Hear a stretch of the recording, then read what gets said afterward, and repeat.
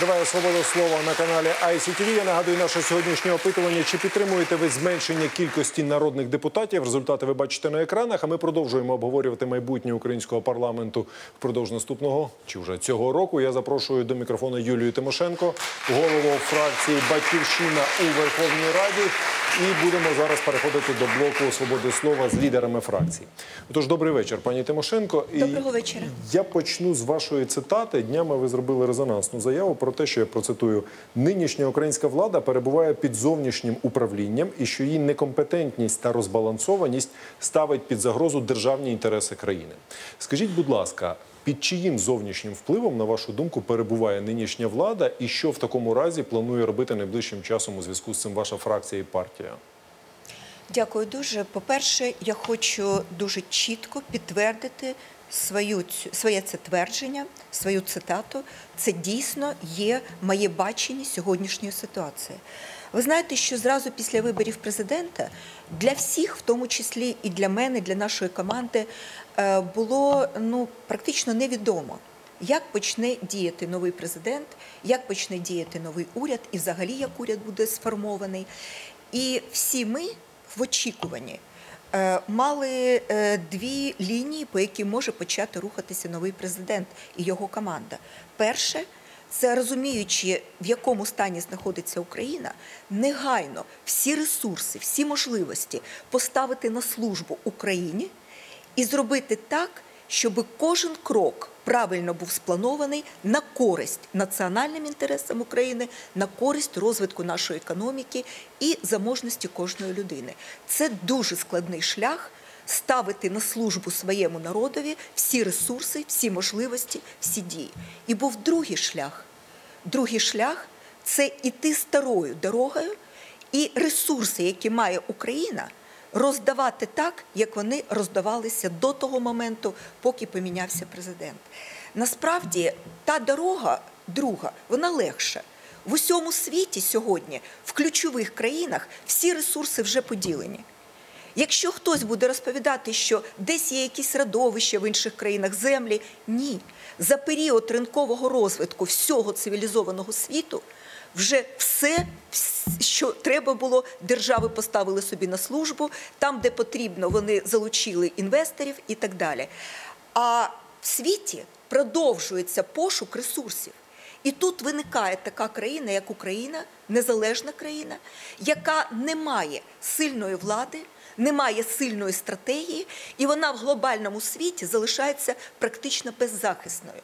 І в цей період треба просто знати, що в глобальному світі конкуренція за кожний вільний ресурс дуже жорстока дуже уважно слідкують, де з'являється ресурс, і туди кидаються всі, і кожен намагається для себе, для своєї країни, для своєї корпорації вирвати те, що хоче мати з тієї країни, яка слабка.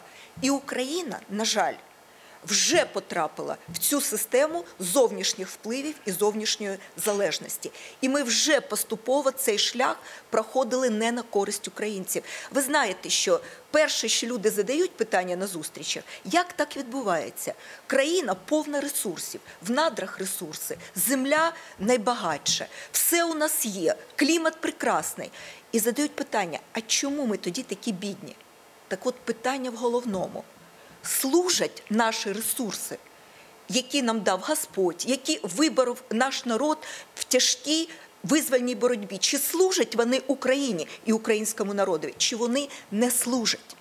І тоді у нас з вами була проблема, що великі кланові структури всередині країни взяли все саме смачне з промисловості, з надр, все собі прибрали до рук, і це були монополії і залишаються, які просто споживають це не на користь українського народу. І треба було це перерозподіляти, і це було перше завдання, яке стояло перед новою владою. Просто справедливість відновити, тому що все, що у нас є, мусить почати працювати на нашу успішність, українську успішність, на наше життя, на заможність наших родин.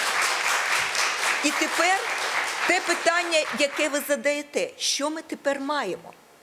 Коли помінялася влада і прийшли люди молоді, симпатичні, я з великою повагою ставлюся до пана Разумкова, в тому числі президент новий, буквально за декілька місяців все, що є зараз в Україні, по суті, прибрали до рук. А тепер питання хто?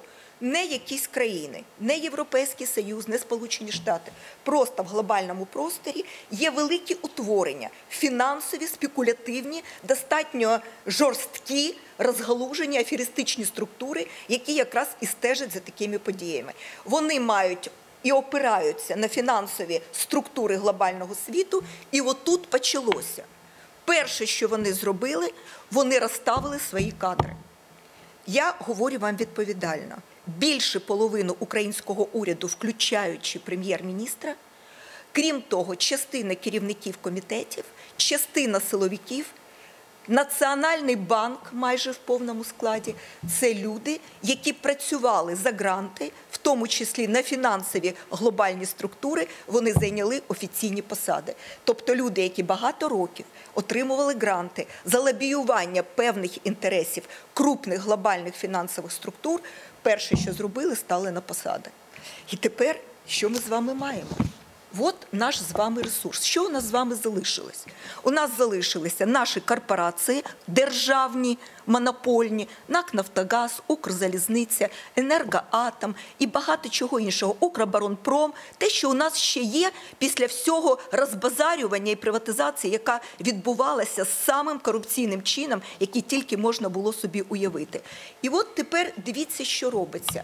Абсолютно технологічно, технічно в наших державних корпораціях заміщують наглядові ради, а наглядові ради практично підміняють сьогодні уряд. І от вам картина. Це статистика офіційна.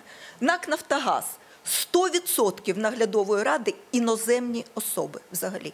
Нічого спільного з Україною не мають. І повірте мені, так як вони працюють в своїх власних інтересах, це могло би показати тільки розслідування спеціальне. А тепер питання: вісім місяців новий президент при владі. Чому в НАК Нафтогазі, де тарифи, де сотні мільярдів оборотів, де найбільша корупція була за останні п'ять років, жоден посадовець не міняється? Вісім місяців пройшло, не тільки розслідування немає, не помінявся ніхто. Але в наглядовій раді 100% іноземців.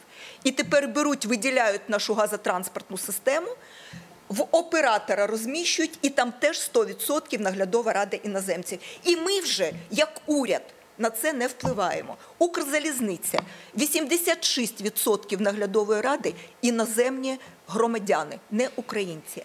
Давайте візьмемо, наприклад, е, таку структуру, як Укрпошта.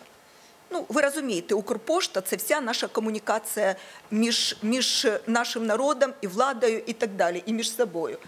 57% наглядові, в наглядовій раді іноземці, і керівнику Укрпошти в місяць встановили до 2 мільйонів гривень заробітну плату.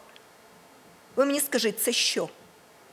Це означає, що практично йде перекачування державних ресурсів, державних грошей в напівзбитковій Укрпошті. І, до речі, і тарифи підвищуються. І за рахунок цього практично іде збагачення. У нас приватизували фінансові потоки, які у нас ще залишилися. Укроборонпром. Не просто іноземці складають наглядову раду, а Укроборонпром під час війни, а це ну, більше ста підприємств оборонного комплексу. Там і наука, і виробництво все. Війна йде. Очолює Укроборонпром людина іноземна, тобто не українець, мається на увазі з паспортом іншої держави і наглядовій раді платять по 300-400 тисяч гривень в місяць, плюс премії і все інше. Викачка грошей іде така, що страшно навіть подивитися. І так я можу пройтися практично по всім нашим наглядовим радам. Ощадбанк 63% іноземці. Укрексімбанк 56% іноземці. Контрольний пакет постійно по всім фінансовим потокам. Ну це я вам сказала тільки державні корпорації. Но реально ми прийняли вже більше 100 законів, там до 150 законів прийняли. І от подивіться, в програмі президента першим законом він обіцяв закон про народовладдя. Що таке закон про народовладдя? Насправді, і в першу чергу, він сказав в своїй програмі, що будь-які важливі питання для країни будуть спочатку прийматися на референдумі, і тільки коли народ скаже так чи ні, після того буде діяти влада. І тепер в турборежимі прийнято вже більше 150 законів. Закона про референдум немає. І досі не внесений навіть. А тепер давайте подивимося, які ж закони приймаються. Іде якийсь законодавчий спам, і ми на нього звертати увагу не будемо. Це ширма. Але в реальності що приймається реально? Те, що країні і національним інтересам прямо загрожує, і закони, які писалися не в Україні. Перше, одним з перших законопроєктів Верховній Раді приймається закон про повну відміну переліку стратегічних підприємств, заборонених для приватизації. Скажіть, будь ласка, чому 28 років різні були президенти, уряди, але за 28 років ще змогли зберігти від приватизації енергоатом, е, наші газотранспортні і нафтотранспортні коридори і багато чого іншого, нашу науку. Могли зберігти всі наші енергетичні компанії, які сьогодні ще державні, та ж Укрпошта, Укрзалізниця і так далі. І от першим, одним з перших рішень, що приймається, скасовується повністю заборона на приватизацію всіх наших стратегічних об'єктів. Я вам, як двічі прем'єр-міністр, абсолютно авторитетно говорю: немає жодної самої ринкової країни в світі, де було би 100% від держави стратегічних підприємств віддано кому завгодно.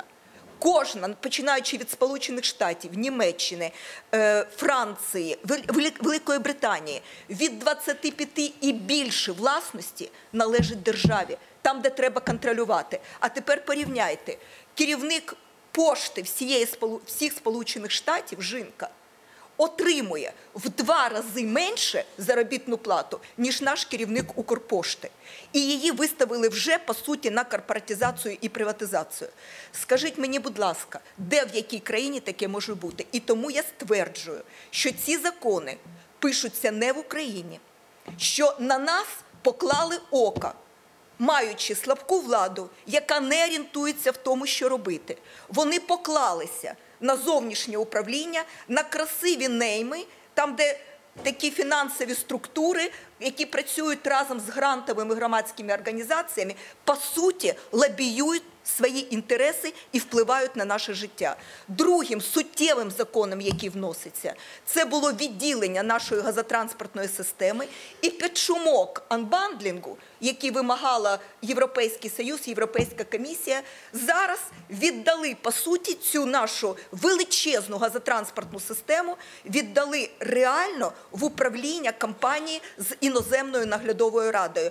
І знову керівнику НАК Нафтогазу, пану Кобілєву, ви ж знаєте цю легендарну людину, яка залишилась далі працювати і далі формує нам тарифи, які нічого спільного з ринковими не мають. Так от йому знову виплатили 700 мільйонів гривень премії. За що? За рахунок наших тарифів. 700 мільйонів гривень. І це іноземна наглядова рада. Я хочу вам сказати, що так як нас дерібанять сьогодні, ніколи цього не робили. Наступний закон, який вноситься і приймається в першому читанні, це продаж сільськогосподарської землі. Я ще раз вам говорю відповідально і твердо. Всі країни світу, які мають сільськогосподарську землю і мають розум, інтелект і стратегічне мислення, землю свою віддали в оренду або навіть у власність виключно своїм фермерам, сімейним фермерським господарствам. І тільки декілька країн, які віддали великим міжнародним корпораціям, вони по суті кончили і свою землю, і свою країну: Аргентина, Мадагаскар. Ну і можна ще дві-три такі назвати країни. Так от у нас прийняли в першому читанні закон, який реально абсолютно віддає 72% нашої території просто глобальним спекулянтам, які потім будуть на цій землі нашій заробляти і в різниці на ціні на землю, а потім і продавати таким самим глобальним структурам, які будуть з нашої землі отримувати прибуток. Фермерство у нас вже не народиться, тому що його не народили спочатку, а спочатку розпродають землю. І от що вони пишуть в останній редакції закону про землю, які вони виносять і хочуть виносити в зал на наступному сесійному тижні. Вони хочуть, щоб мали право купувати українську землю через застави іноземні банки, іноземні кредитні установи, і крім того, без обмеження кількості в одні руки. Тобто, таким чином, уже цим законом вони показують, що нашу землю пускають спекулятивний оборот. А тепер скажіть, вони там виділяють для тих, хто буде купувати із аграріїв, 10 тисяч в одні руки купити. Покажіть мені хоч одного українського аграрія, який зможе позмагатися з великими корпораціями і купити 10 тисяч гектарів землі. У нас фермери і аграрії вже обідрані до нітки. Я можу вам сказати, якщо ми тільки допустимо прийняття цього закону в другому читанні, я можу сказати, що на цьому Україну можна буде закривати як країну з незалежністю і суверенітетом. Це вже буде завершено цей проект. І тепер, і тепер подивіться, і тепер подивіться, як вони форсують цю тему. Вони ж продавлюють, вони ж не дають навіть дихнути. В комітеті вони не дають навіть поправки розглянути. Це називається турборежим. І тому вам прекрасний симпатичний хлопець розповідає, що там регламент дотримується. А можна запитати, а в яку сторону цей потяг їде взагалі? Він в правильну сторону цей потяг їде? Чи він нас веде по суті до втрати останніх ресурсів і останніх елементів нашої незалежності? І тому я говорю, що нас великі спекулятивні глобальні структури просто знайшли. Вони побачили нашу слабкість, що ми без руля і вітрил, і зразу взяли це під свій, ну скажімо, патронат. І тепер вони з нас доять все, що хочуть забрати. І тепер, що де у них ще заробіток? У нас не так багато залишилось всього. Ви розумієте? У нас вже залишилися залишки, крихти наших ресурсів українських, на яких тримається наша незалежність, наша державність і ще надія на відбудову економічно сильної України. І тепер де ще у них заробіток? Заробіток у них ще в Національному банку, які повністю віддали в управління світовим фінансовим групам. Що таке Національний банк? Національний банк, як сказав один з великих фінансистів глобального рівня, що дайте мені Національний банк в цій країні, і мені байдуже, хто в цій країні пише закони. Тому що Національний банк це і є осередок нашої з вами фінансової економічної успішності. І якщо в Національному банку була побудована фінансова піраміда з депозитних сертифікатів, де на введені гроші, які нам насильно давали взайми, вони отримували річних до 22-25% річних на валюту, тому що вони валюту заводять, це означає, що за останні 5 років у нас вивели приблизно 15 мільярдів доларів з наших золотовалютних резервів і з нашого національного банку. Ви уявляєте масштаб?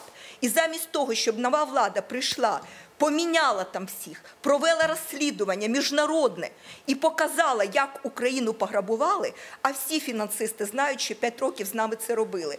Так вони продовжують цю історію. І більше того, вони не просто продовжують, а вони її нагнітають. Тому що наступний заробіток для зовнішніх фінансових кіл в Україні це дати нам гроші, просто, ну знаєте, як качки в горло заштовхати під величезні відсотки, через які вони і беруть нашу частину бюджету. Так от цифра вам, ця цифра бухгалтерська. Значить, якщо ми з вами візьмемо 8 місяців, ну з травня по грудень 2019 року, це якраз і є правління нового президента. В борг знову взяли додатково 218 мільярдів гривень. Ви знаєте, що таке 218 мільярдів гривень? Це більше ніж в два рази більше, ніж іде на всю оборону нашої країни в рік.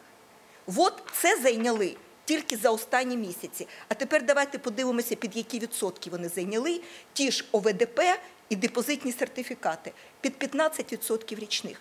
Немає таких країн більше в світі, де вкладаючи насильно борговий капітал нам, отримають такі статки і такі доходи. От так вимивається наш бюджет. І коли ми розбираємося з тим в записах прем'єр-міністра, які пролунали на всю країну, що міністр фінансів в тому числі приймає участь в тому, що віддають гроші під ці е, облігації внутрішньої державної позики ОВДП і отримують на це такі відсотки. Так знаєте, наскільки вони збільшили запозичення через ці цінні папери? В три рази за час правління. Це означає, що нас на фінансовому ринку продовжують драти так, як ми потім з вами наступні декілька поколінь не віддамо ці гроші. Вони продовжують нас втягувати в боргову яму, тому що для них це заробіток мільярдів гривень на нашій з вами біді. Зрозуміло. І тому я говорю, що нас не просто тут використовують. А тепер давайте поговоримо останнє питання, і я завершую. Що нам легалізують?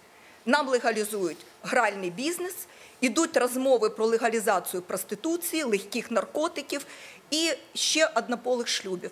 Прекрасно. Дорогі друзі, давайте ще поставимо величезний хрест на залишках нашої духовності і моралі. І коли нам говорять, виходять на трибуну молоді наївні люди. Ви знаєте, от з обличчя хоч воду пий. От виходить дівчинка маленька, така на трибуну Верховної Ради, і каже: так це ж прекрасно легалізувати гральний бізнес. Це ж от така історія для країни. 4 мільярда гривень в бюджет отримаємо і бізнес піднімемо. Знаєте, чого вони не говорять? Вони не говорять, що для того, щоб 4 мільярда гривень з грального бізнесу отримати в бюджет, треба, щоб 40 мільярдів гривень українці програли. Просто програли. Тому що з програшу українців платять в бюджет. Я хочу запитати, скільки ще треба з кишень родин українських витягнути грошей, щоб ще 40 мільярдів планувати, що ми програємо в казіно, в лотереях, в гральних залах, і вони знову планують біля кожного практично готелю, біля кожного мікрорайону поставити гральні зали. Вони говорять, так вони ж так є. Так а навіщо ж ви прийшли? Так наведіть порядок. Якщо заборонено закрити, це ж ваші силові структури. А якщо не закрили, так притягніть до кримінальної відповідальності. Вс- Всесвітня організація охорони здоров'я зробила висновок публічний, що люди, які грають в усі всі ігри, вони, на жаль, хворіють на дуже важку залежність. Називається лудоманія, ігроманія, як завгодно. Вона сильніша, ніж наркозалежність, ніж алкогольна залежність. І кожна друга людина, особливо в бідних суспільствах, вони схильні до цієї хвороби.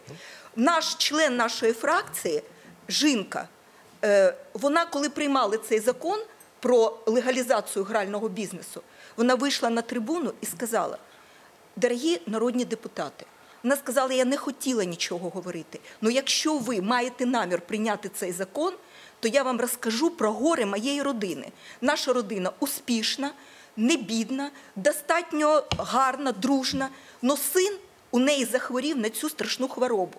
І вони його не можуть вилікувати. Ні в яких абсолютно закладах лікувальних. Він з дому виносив все, що тільки можна винести, і вилікувати це неможливо. І вона благала на трибуні, вона каже: в Німеччині навіть обмежили сьогодні навіть онлайн. Ігри заборонили, тому що це люди настільки залежні від цього, що вони потрапляють під цю залежність. І якщо нас зараз втягують в це свідомо, перший раз провалили в першому читанні закон про гральний бізнес. Виходять і через декілька днів не закон про референдум голосують, не закон про наведення порядку з тарифами, а знову голосують гральний бізнес. Зрозуміло. Тому що вже розписані квоти, хтось ті 40 мільярдів буде знімати з українців програшу для того, щоб мати на цьому статки. Ви ж розумієте, що казіно, гральні зали. Е, І всі інші оці лотерейні речі ніколи збитковими не бувають. Це найприбутковіший бізнес. Пані Але на чому? пана на нашому горі. І тому я говорю, ми рухаємося до абсолютного впливу зовнішніх фінансових груп на Україну. Президент, який має в руках всю повноту влади, сьогодні, на жаль, є тим вузьким горлишком, і через нього можна проводити все, що завгодно, і так це і робиться, використовуючи недосвідченість, некомпетентність і нездатність захистити Україну від таких зовнішніх викликів. Дякую. Нам Є треба запитання? негайно наводити з цим порядок. Пані... Пані Матвієнко має запитання.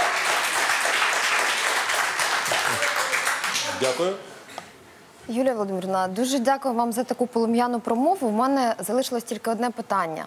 Можливо, ви вже входите або плануєте входити до новоствореного міжфракційного об'єднання цінності, гідність, родина, яка якраз, як ми почули, буде захищати всі ці вічні цінності. Я, чесно кажучи, е, поки що не знаю цю програму. Я не розумію, які цінності будуть захищати. Якщо, наприклад, будуть захищати легалізацію марихуани, як зараз уже оголошує керівник профільного комітету, уявіть собі, що це дуже корисна для країни річ. Надо ж хворих лікувати, розумієте? І тому нам треба вирощувати тут марихуану і вже остаточно споїти і скурити своє суспільство, свою молодь, своїх дітей. Розумієте? І тому, якщо я не знаю просто, що ці люди будуть робити, якщо вони будуть займати логічну, духовну, моральну позицію, безумовно, ми будемо А як входити до такого шлюбів? Я до одностатевих шлюбів ставлюсь приблизно так. Е, Треба закріпити в Конституції традиційні родини, де чоловік і жінка мусять утворювати родину і жити. Якщо у людей є якісь інші бачення на це, це їх особиста справа. Але робити це частиною Конституції і навпаки ще це і підштовхувати, я вважаю, це ну просто якась дивна історія. Е, У кожної людини є своя свобода. Ніхто не може її свободу обмежити. Но робити це нав'язаним суспільству, яке, до речі, на 90% християни, віруючі люди, я думаю, це ну, не те, що нам зараз треба робити першочергово. Вибачте. Дякую. Пан Фесенко. Юлія Володимирівна, ну дійсно, е, виступ у вас е, полум'яний, е, і по багатьох питаннях можна дискутувати. Ну, наприклад, по боргах у нас, на жаль, три роки поспіль піки виплат по зовнішніх боргах, і тому, скажімо так, тут можна спорити, сперечатися, наскільки правильною є політика уряду Нацбанку по курсу. І навіть от на тих прослушках, про які ви згадували, фактично про це йдеться. Як на це Там фактично йдеться, як відмиваються гроші через облігації Ну, внутрішньої державної да. І проблеми, підозри такі є. Е, е, Проте, все ж таки, от є реальна об'єктивна проблема, великі борги, і так чи інакше нам ці борги доводиться е, віддавати, тому що попередні уряди брали ці гроші, зараз їх треба віддавати. На жаль, і шляхом те, що називається переборгування, да, беруть знов в борг. Але я про хочу запитати: е, от про ефективність е, опозиційної діяльності. От зараз, от і на цій трибуні, і в парламенті, ви е, ну фактично найбільш помітний, найбільш жорсткий, найбільш яскравий опозиційний лідер. От це навіть аудиторія це визнає. Проте на початку сесії, от тому що ми обговорюємо нинішню парламентську завершення другої парламентської сесії, ви були в конструктивній опозиції. Зараз навпаки, ви найбільш радикальний критик нинішньої влади, не тільки уряду, ну вже і президента. Але питання: от наскільки ефективна та чи інша е, опозиційна форма? От ви згадували про приватизацію підприємств. І е, ви е, одна з перших критикували перелік великої приватизації, і е, ми бачимо, що і президентська команда, і уряд в принципі дослухаються до деяких. Ну от по енергоатому вони ухвалили постанову, До що сьогоднішнього дня перелік підприємств, корпорацій, монополій, заборонених для приватизації, на жаль, залишається скасованим. І сьогодні на оцю хвилину а от те, що уряд навіть ухвалив. Це не має ніякого значення. Є закон. Закон забороняв доторкатися навіть до таких стратегічних підприємств. Це наше національне надбання, це багатство всієї нації.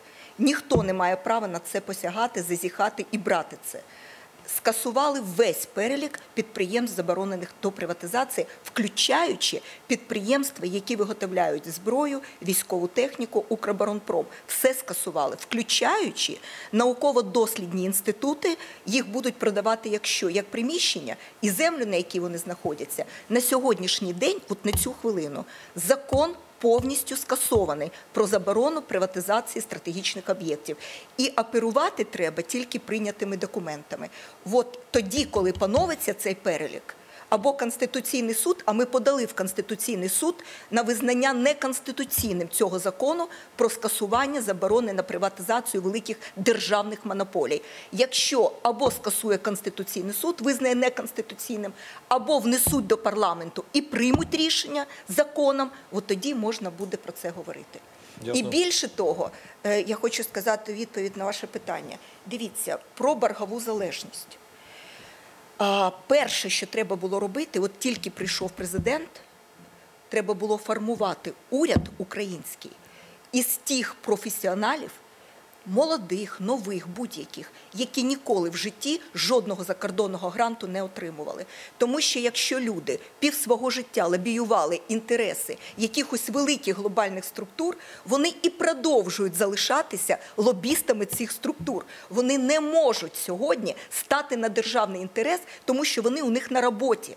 І вони їх інтереси відстоюють. І перше, що треба було з державним боргом робити, це почати системну його реструктуризацію. Не може жити країна і бюджет, якщо у нас з вами третина бюджету видатків іде на обслуговування державного боргу, з'їдається все: і гроші на пенсію, і гроші на охорону здоров'я. Третина бюджету ніде в світі не платиться на обслуговування боргів і на повернення боргів. Тому перше. Це реструктуризація на довгий період під маленькі відсотки. І якщо не лобіювати тих, хто вже нас закредитував, а піти до інших країн, які готові з нами співпрацювати з західного світу, ми могли би реструктуризувати цей борг повністю і, можливо, п'ять перших років, а то і більше, взагалі не мати виплат по зовнішнім боргам. Дякую. Я говорю вам це про реальну абсолютну ситуацію, тому що ми, готуючись до президентських виборів, вели ці переговори, і ми точно знаємо, що це можливо. І те, що стосується вашого запитання, що опозиції зараз робити, я радикальна опозиція чи конструктивна? Я ну, можу вам сказати, що на сьогоднішній день Конституція показала дуже велику ваду, коли у нас президент, його більшість в парламенті, його уряд, його силові структури, його суди, у нас з вами не залишається жодного інструменту зупинити те, що сьогодні не можна в країні робити. І тому перше питання у мене і до вас, і до суспільства. Ситуація така, як я вам розповіла. Законів, законопроєктів, які внесені зовнішніми силами, я би сказала так, сотні. Кожен по своєму інтересу. Але як нам, українцям, від цього захиститися? Ви говорите про конструктивну Юлія опозицію. Спробуйте в дякую. конструктивній опозиції зупинити продаж землі, продаж стратегічної власності, якщо це вже питання, яке вони запустили. Нам треба єднатися, нам треба повністю переглянути всю цю ситуацію, і треба публічно виходити з такими речами.